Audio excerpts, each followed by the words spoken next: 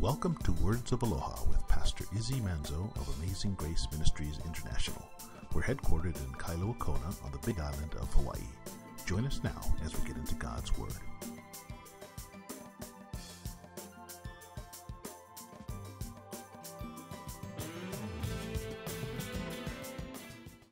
Father in heaven, we thank you for a beautiful day. Lord, we thank you for being the awesome creator that, um, that your creation testifies of your goodness. But Lord, as we open up your word this morning, we pray that your word would come alive. Lord, we pray that there would be a moving of the Holy Spirit, Lord, to touch each one here, each one listening, Lord, that our lives would be changed as we learn more about who you are and how much you love us. We ask this now in Jesus' name. And all God's people said, Amen. Amen. Well, guys, if you grab your Bibles and turn to 1 Corinthians chapter 6, we're going to continue our study of this beautiful letter that Paul wrote to the church at Corinth. Let me show you today. Paul is going to, he's now going to point, go from pointing out the immorality that had crept into the Corinthian church to now he's going to address a different issue. Do you know that these guys are actually, some of you read ahead, okay, so I'll, I'll just tell you if you didn't. Chapter 6, that he's actually got to address that they are suing each other in the church. They have lawsuits against one another. And they're not like bringing the the issue before the church like hey help us out this brother wronged this other brother. You know you guys give us your judgment what you think we should do. No.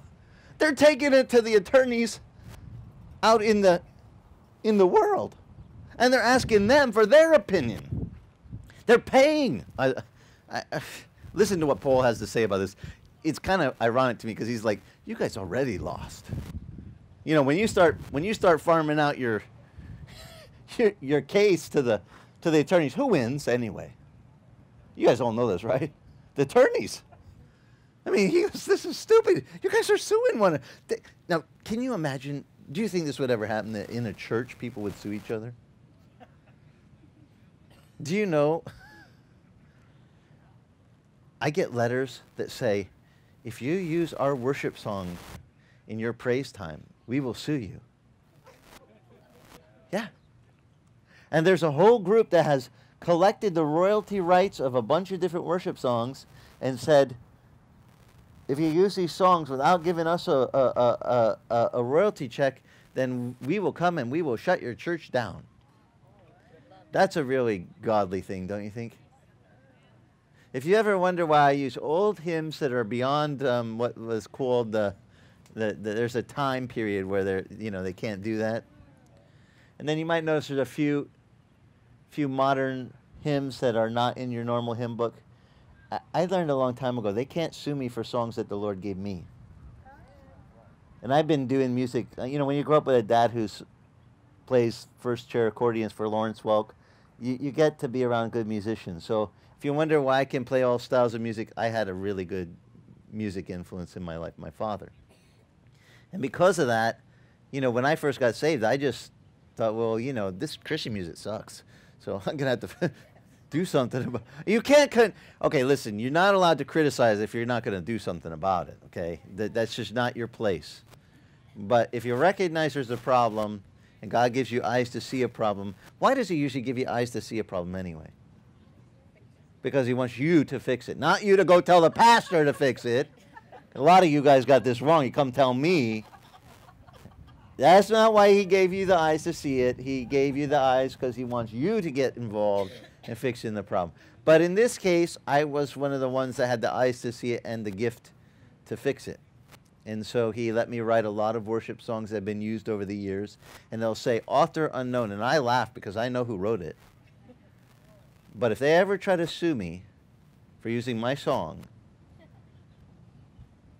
I'm going to say, you know, I, my dad taught me what to do. You mail yourself the original copy and you don't open it. You leave it sealed in an envelope. It's the old school way of, because it's stamped and dated by the post office. And you write in, written by this date, the whole thing. And I did that with a few of my songs just so that these crumbs that go around and actually, they should not be suing other Christians First of all, for worship. I mean, come on. If you wrote a worship song, wouldn't you just be blessed if you went into a different church and heard them singing your song? I mean, I know when I go in and I hear them singing a song that the Lord gave me 30 plus years ago, I just brings a smile to my face. I just think, Lord, you are so cool. I mean, just it's just like the Lord winking at me, you know, like, wow, it, it circulated, you know, it, it made its way around the, around the horn. It kind of went over to here and to that group and to that group, and it's really a blessing. But to think they would actually sue over a worship song. Well, look at the Corinthian church. Listen to what Paul. Now, you guys, I'm only going to do half this chapter because I'll go over the suing part today. Yeah, it's enough to crack you up as it is. Let me read it to you. Chapter 6, verse 1 says, Does any one of you, it says, when he has a case against his neighbor, dare to go to the law before the unrighteous and not before the saints? He says, Or do you not know that the saints will judge the world?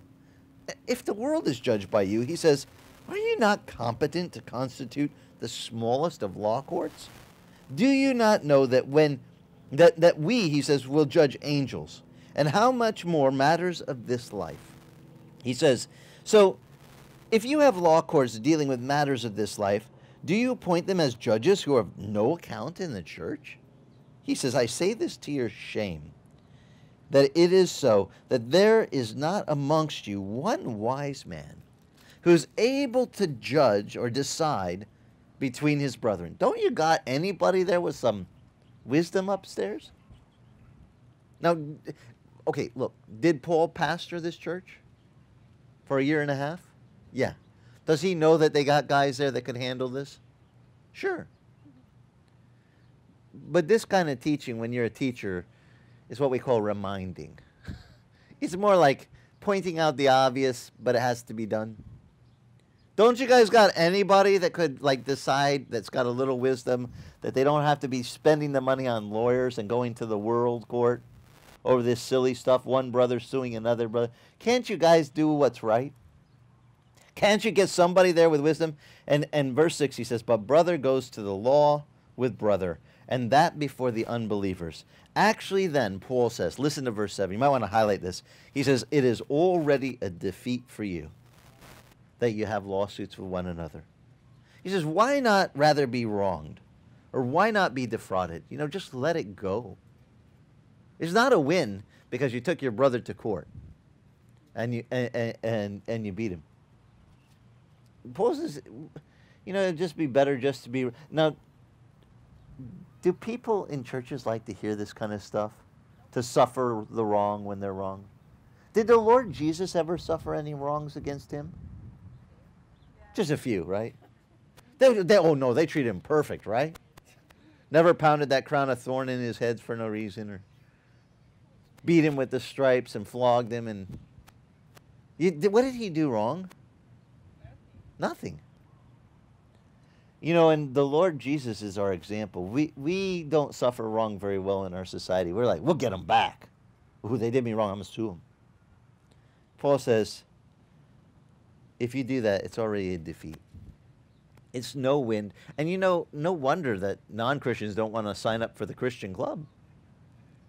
They're like, why should I? Those guys are just as bad. They sue each other. I mean, if they would see us behave in a Christ like manner, a higher, I call it taking the higher road, we would walk the higher road, they'd be going, you know, I'd rather be in their club. They don't sue one another over petty stuff.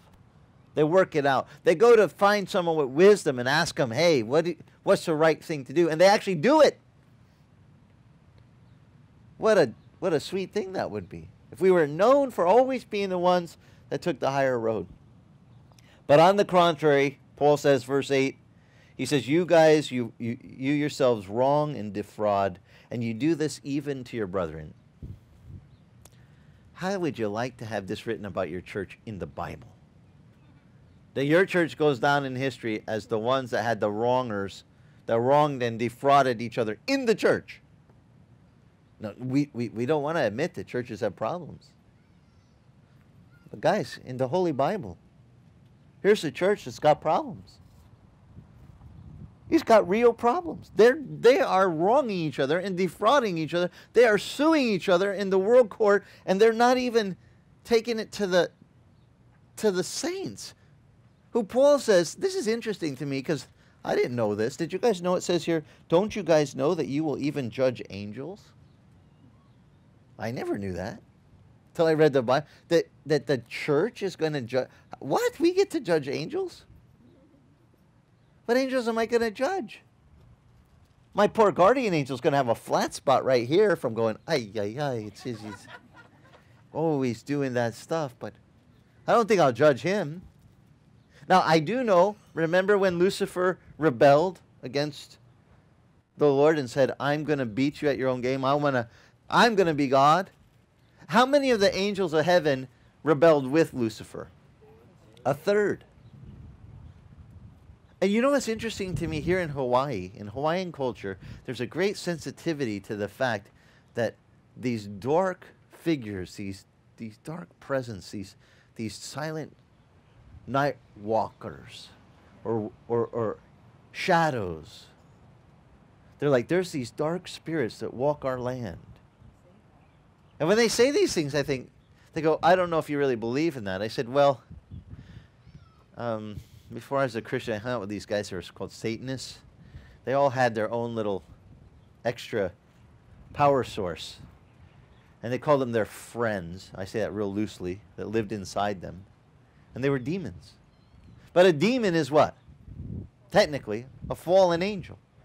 It's one of the third that fell from heaven. And where did they go to when they fell? They were cast out to where? The earth. Yeah, they're down here walking around. Now, where are they headed in the eternal scope? We already know where they're going. Even further, to HE double toothpicks. That's what we would say in Catholic school. We were supposed to say hell. Okay, the nuns did not like it. But we could say HE double toothpicks, and that was allowed. But just to let you know that the demons do know where they're going to go.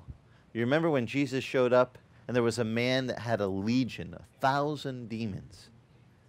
And he was he was in the graves. He was get, cutting himself and harming himself and not in his right mind. And Jesus came and he comes to that side of the Gadarenes on the other side of the Sea of Galilee. There's a steep cliff, and and he, and he sees the man, and the the demons cry out, "What do we have to do with you?" The demons are talking to Jesus.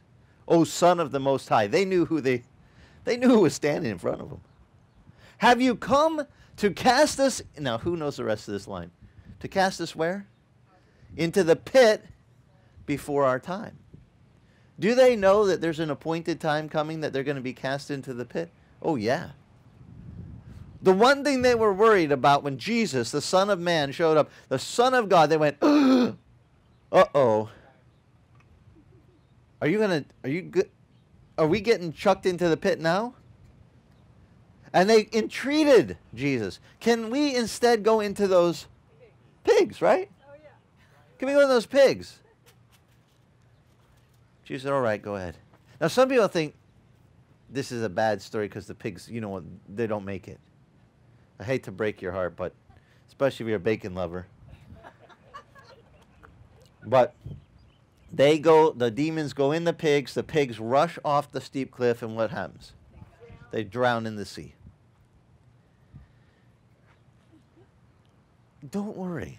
Okay, just so you know, the, the land of the Gadarenes right there, that part, that was supposed to be settled by one of the tribes of Israel. I got a question. Are Jews allowed to eat pork? What were they doing raising pigs? They weren't supposed to be. You know, back then, you didn't cook the pork. What did you get? We call it trichinosis. I don't know that they knew the name, but you got really sick. And they weren't even supposed to be eating that. They weren't supposed to be raising them. Jesus just basically cleaned out a problem that they were doing big no-no by letting the demons go into the, and then the man was sitting there in his right mind. Whole. Jesus had freed him from these demons. Now before i became a christian i hung out with guys that had their own little friends. They call them friends. Demons that lived inside of them. My own daughter said dad sometimes i feel like there's like dark creatures that come around my window try to bug me on Saturday night. I said, well, they are there. I mean, but just to comfort you, um, there's a ratio between the good, the good angels and the fallen angels. And by the way, you'll want to be on the good side for this one. You know why? Because only one third fell, that left two thirds in heaven. Now, if you're not good at math, that means for every one bad angel, one fallen angel, or one demon, how many good ones are there? Two. That's right. The odds are in our favor. But this verse really sticks out to me because, you know, coming from hanging out with possessed guys that had fallen angels in them, they let them voluntarily come in their bodies and inhabit them.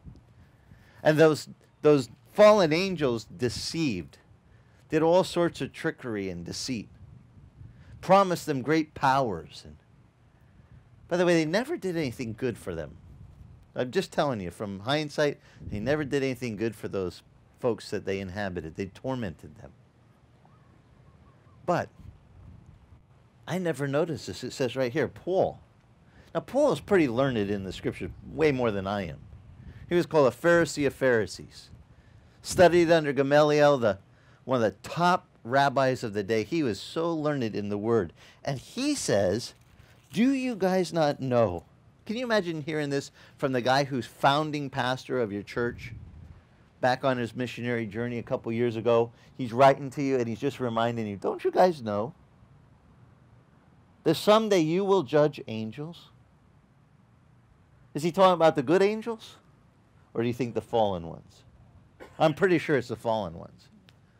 Don't you know that you. And I, I was thinking, really? We get to judge them. Man, I got some of them that caused me a lot of trouble. Any of you ever felt like there's demons giving you a little hassle? You ever thought how good it would be that you get to judge them someday? Like you, Crumb. You little creepy shadow that gave me bad night's dreams and mess with my sleep and mess with my family. You know, someday we get to judge them. I never even noticed that verse. I read right. How many of you read past this verse before? You never noticed it's in there. You see that there? I'm, I'm not making this up. For those that maybe they're driving, listening to this later, be careful. Don't, don't. You don't have to look right now. But when you get home, just know, Paul, Paul is telling them, you guys. Verse. He, he says, verse three. Do you not know? This 1 Corinthians 6, verse 3. Do you not know that we will judge angels? I didn't know that. Did you? Did, how many knew this already? Some of you are like, oh, I, uh, Pastor, you're slow, man. You didn't. I've known that for a long time, but I didn't know that. It's right in the book. But I did catch on to the part we're not supposed to sue one another. How many of you knew that already? Right? I mean, sh- should Christians be suing other Christians in the church? No. It's a disgrace. Rather, Paul said, just be defrauded and be better. Take the high road. Don't go for that. You're just going to get drugged down. And you know, does anyone really win when they do this whole suing thing? Just the lawyer. You got it. Just the attorney, not the not the people involved. It just tears them down to nothing. It's so sick what these lawsuits can do to people. I tell you, we would be better to just be defrauded and move on. The pain is less if you can if you can receive it than when you get that bill from the lawyers. Mahalo for joining us. If you'd like more information about us, go to our website, amazinggracekona.com, and click the link to follow us on Facebook. That's amazinggracekona.com. Mahalo and God bless.